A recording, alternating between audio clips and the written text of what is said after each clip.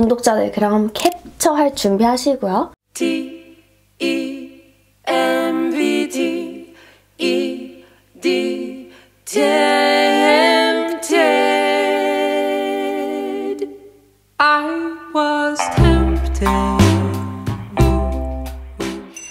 안녕하세요 문캉입니다. 올리브영 세일이 또 돌아왔고요. 그럼 우리는 지갑을 열 준비를 해야겠죠? 대신 우리 몽독자들은 아주 필요한 것만 쏙쏙 구매를 하시라고 제가 오늘도 알짜배기 제품들만 싹 준비를 해봤습니다. 제가 최근에 너무 겹치는 아이템들만 보여드렸던 것 같아서 새로 발굴한 올영 꿀템이나 조금 가볍게 만 짚고 넘어갔던 제품들 그런 거 위주로 소개시켜드릴게요. 몽독자들 그럼 캡처할 준비하시고요. 영상 한번 시작해볼까요? 첫 번째는 파파레서피의 가지 clearing 효소 파우더 클렌저입니다. 이거는 제가 한 일주일에 두 번 정도 사용하는 효소 클렌저인데요. 가루 타입으로 되어 있어서 이거를 손바닥에 덜어준 다음에 이 가루랑 물이랑 살짝 갠 다음에 거품을 풍성하게 내서 사용하는 타입이에요. 근데 이게 각질 제거용으로 너무너무 좋고요. 특히 저같이 민감성, 홍조, 건성, 쓰리콤보 다 갖고 계신 분들 그런 분들은 좀 과하게 각질 제거를 했다가는 오히려 대참사가 일어날 수 있거든요. 근데 이 제품은 굉장히 순하면서 표면에 그 살짝 올라와 있는 각질들을 정리해주기 너무너무너무 좋은 제품입니다. 이 제품이 세안을 하자마자 즉각 적으로 피부결이 좀 보들보들해지는 느낌을 받아서 daily로 각질 제거 해주기 너무너무 좋고요. 그래서 저 같은 민감성들은 물리적으로 좀 과하게 각질을 제거한다거나 입자 큰 스크럽젤 쓰지 마시고요. 이런 제품들로 daily하게 관리하면 아마 훨씬 더 피부에 잘 맞으실 거예요. 다음 제품은 짠! 요거는 파티온의 노스카나인 트러블 세럼입니다. 저도 이 조그만한 15ml짜리는 그 올영 기획전 때 본품을 딱 구매를 했더니 같이 오는 그 세트 안에 들어가 있어서 이미 본품은 다 쓰고 이거 조그만한 거 남아서 하나 더 새로 시키려고 합니다. 제가 여드름 전용 제품을 추천드린 거 진짜 오랜만 같거든요. 그만큼 저는 막 심한 여드름 피부도 아니고 지금까지는 좀 순한 진정템들이죠. 그런 걸로 여드름을 눌러줬었는데 자 최근에 막 여기저기 막 여드름을 났다고 했잖아요. 근데 또 이번에는 턱에 왕따시만한 여드름이 3개나 났네? 그래서 여기 턱이랑 하관에만 이 제품을 써줬고요. 나머지 부위는 원래 쓰던 루틴대로 써줬는데 정말 여드름이 너무 빨리 가라앉아 제가 깜짝 놀란 거예요. 이렇게 보이는 것처럼 엄청 묽은 제형의 세럼이라서 이 턱 같은 고민 부위에 저는 두 번 정도 layer를 해주는 편이에요. 그러면 흡수도 정말 빠른데 또 마무리감은 그렇게 끈적거리지 않아서 두 번 정도 레이어해도 전혀 전혀 무리가 없더라고요. 이것도 약간 사바사 케바케일 수도 있는데 저는 좁쌀 여드름보다는 이렇게 큰 화농성 여드름에 확실히 효과를 봐서 여드름으로 고생하시는 분들 이거 한번 써보셨으면 좋겠고요. 이상하게 왠지 모르겠지만 이 같은 라인의 크림을 제가 써봤는데 딱히 큰 효과를 보지는 못했거든요. 근데 이 세럼은 제가 여드름이 좀 크게 났다 할 때는 무조건 써주고 있는 제품이라서 여드름으로 고생하시는 분들 한 번만 써보셨으면 좋겠어요. 저한테는 너무너무 잘 맞는 제품입니다. 다음은 짠! 요거는 필리밀리의 811 브러쉬입니다. 이 제품은 이미 모공쟁이들 사이에서는 입소문이 자자한 제품인데요. 저는 막 모공이 엄청 큰 사람? 뭐 엄청 많이 있는 사람은 아니지만 좀 코에는 블랙헤드가 많이 번져 있어서 베이스 할 때 꼼꼼히 코 주변을 깔아주는 편인데 이 브러쉬가 모공 메워주는데 진짜 미친놈이에요. 너무너무 모공이 쏙쏙 잘 들어가. 이렇게 보면은 브러쉬가 엄청 촘촘하고 좀 단단한 편이에요. 아까 말한 것처럼 콧볼에 있는 이런 모공 채우기도 너무 좋고 나는 나비존의 모공도 약간 고민이다 하시는 분들도 좀 고민 부위에 쉽게 쉽게 쓰기 진짜 좋습니다. 개인적으로는 저는 일반 파데를 이 제품으로 전체 다 바르기에는 조금 양 조절도 힘들고 도톰하게 올라간다는 느낌이 있어서 파데보다는 corrector나 컨실러 쓰실 때 추천을 드리고요. 이런 컨실러 있죠. 요거를 정말 얇게만 살짝 떠서 고민 부위, 나비존, 뭐 콧볼, 미간 같은 데 살살 쓸어서 발라주면 진짜 여기 구멍 사이로 쏙쏙쏙 제형이 다 들어가요. 그래서 모공이 정말 싹 가려주면서 표면이 매끄러 보이니까 베이스 치트키템으로 진짜 너무 추천하는 제품입니다. 그래서 나는 모공이 조금 고민이다. 혹은 피부 결을 좀 깔끔하게 매끈하게 만들고 싶다 하시는 분들은 브러쉬 한번 써보세요. 너무너무 좋습니다. 다음은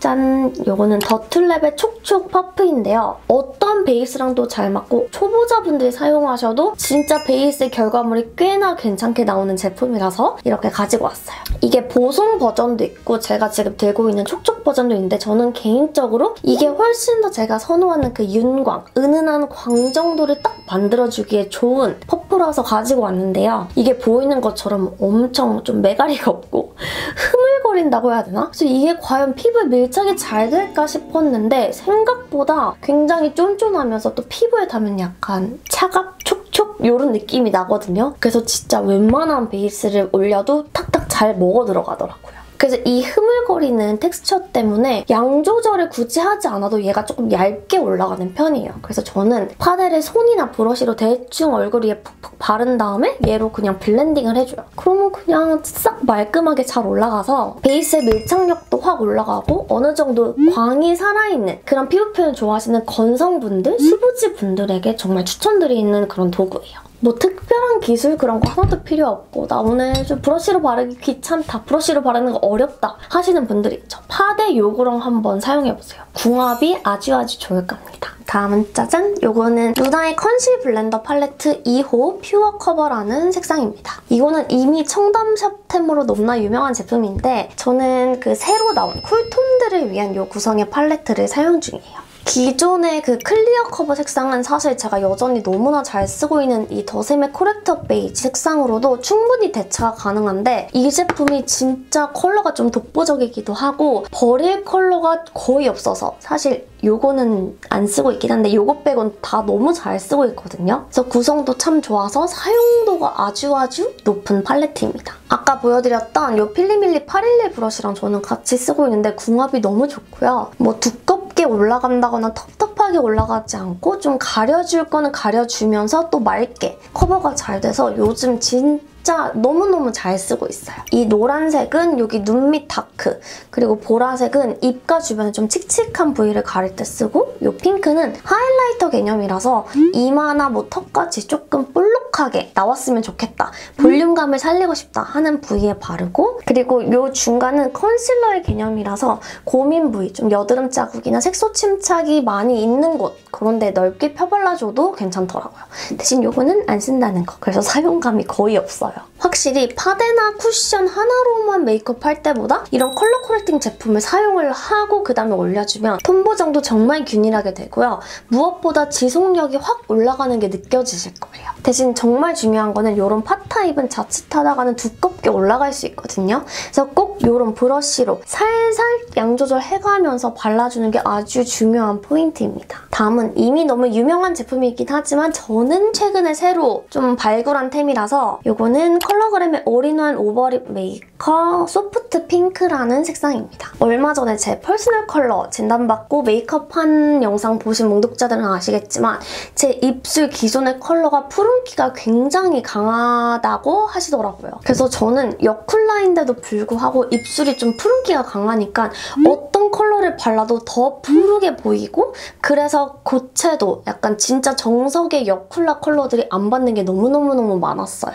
그래서 저한테 알려주신 방법이 그런 좀 고채도의 푸른기 있는 여쿨라의 색상을 바르려면 이런 lip pencil로 제 기존 입술 컬러를 한번 색 보정을 해주고 올리는 게 좋다라고 하시더라고요. 기존에 제가 너무 잘 쓰던 하트 퍼센트 Creamy Pink가 딱 그런 흰기 도는 분홍색이긴 한데 그것보다 이 제품이 더 찐 여쿨 정석의 lip pencil 컬러예요. 이 제형이 적당히 단단해서 blending도 너무 잘 되고요. 그리고 입술 위에 올렸을 때 진짜 fitting이 싹 되더라고요. 그래서 확실히 컬러 지속력이 너무 좋았고 이걸로 한번 입술 전체를 발라주고 그다음에 제가 원하는 컬러를 올리니까 어떤 cool tone lip을 발라도 조금 그 본연의 컬러를 유지할 수 있어서 너무 좋았습니다. 그래서 저처럼 좀 입술 본연의 컬러가 뭐 푸른기가 많다거나 뭐 칙칙하다거나 아니면 너무 나는 약간 warm한 느낌이 많다 하시는 분들은 이렇게 자기 입술 컬러에 잘 맞는 색상을 찾으셔서 한번 1차적으로 보정을 해주시고 원하는 컬러를 바르면 조금 더 그 lip 본연의 색감을 더 잘 구현을 해내실 수 있을 거예요. 이번에는 제가 또 새로운 마스카라 정착템을 찾았거든요. 바로 이 뮤드의 마스카라입니다. 이미 몽독자들 많이 아시겠지만 한 번 더 말씀드리면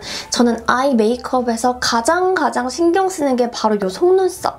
그래서 뭐 뷰라부터 마스카라, 속눈썹 붙이는 걸 가장 중요하게 생각하는데요. 이 제품이 진짜 지속력, 컬러, 그다음 curling력 면에서 쌍쌍쌍 따봉 드리고 싶을 정도로 진짜 너무너무 잘 만들어진 제품이에요. 게다가 이번에 새로 나온 컬러 이거 Ash Brown이랑 Mute Brown을 너무 잘 쓰고 있는데 완전 막 나 블랙이야, 나 브라운이야 이런 느낌 아니게 은은하게 warm과 cool 모두에게 평화를 가져다주는 컬러라서 컬러 면에서도 좀 두루두루 잘 쓸 수 있겠다 싶어서 추천을 드려볼게요. 우선 여기 보이는 것처럼 솔이 얇아서 한 올 한 올 얇게 발리는데 또 촉 촉하게 제형이 올라가거든요. 그래서 자기네들끼리 아주 고정력 있게 싹 뭉쳐서 요즘 느낌의 그 좀 가닥 속눈썹 뭉쳐서 만드는 거 있죠. 그런 속눈썹 연출해주기 딱 좋습니다. 거미다리 안 되고요. 스키니해서 under 바르기에도 너무너무 편한 제품인데 대신 볼륨감이 막 생긴다거나 fiber가 들어가 있는 제품이 아니고 컬링, 꼼꼼 이런 느낌의 마스카라라서 그 점은 꼭 참고해 주시고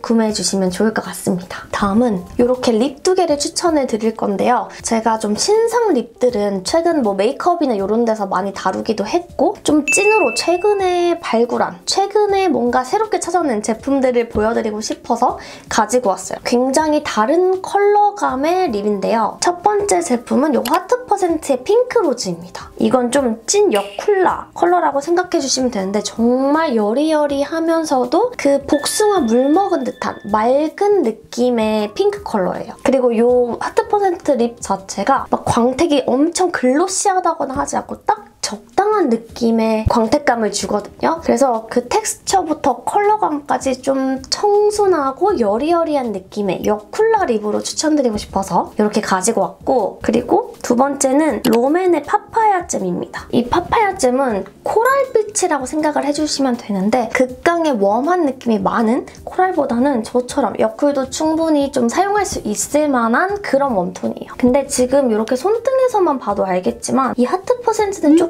더 묽고 맑게 여리여리한 느낌으로 올라온다면 파파야 잼은 조금 더 착색도 있고 컬러감, 채도감이 약간 더 있어서 입술에 올렸을 때 확실히 존재감이 조금 더 드러나는 그런 컬러감과 텍스처라고 생각해주시면 됩니다. 이 두 컬러 다 daily로 사용하기 너무 좋고 제가 personal color를 한번 진단을 받고 난 다음에 더 손이 자주 가는 컬러들이라서 우리 몽독자들에게 다시 한번 이렇게 추천을 드리고 싶었습니다. 마지막 올영 추천템은 제가 너무너무 사랑하는 바로 이 프레스샷입니다. 요즘에도 너무너무 잘 먹고 있고요. 새로 나온 이 마그코어와 기존의 이 프레스샷에 약간 장단점이 있는 것 같아서 그것까지도 한번 빠르게 설명을 드릴게요. 저는 원래 이 기존의 프레스샷을 먹어왔고 이것도 저는 너무너무 효과를 잘 보고 있어서 약간 종합 비타민제, 피로 개선 이런 용도로 잘 먹고 있었는데 이 마그코어가 새로 나왔다는 거예요. 함량도 조금 더 높고 심지어 마그네슘까지 함유가 되어 있어서 이름이 마그 코어인데